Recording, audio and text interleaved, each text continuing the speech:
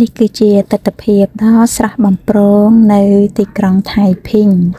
ចឹងនេះគឺជាអាបឹងសួនរបស់គេអញ្ចឹងគឺបឹងហ្នឹងគឺធំមែនតែនហើយយើងមើលទេសភាពខៀវស្ងាត់ចឹងបងប្អូនដែលមានភាពតានតឹង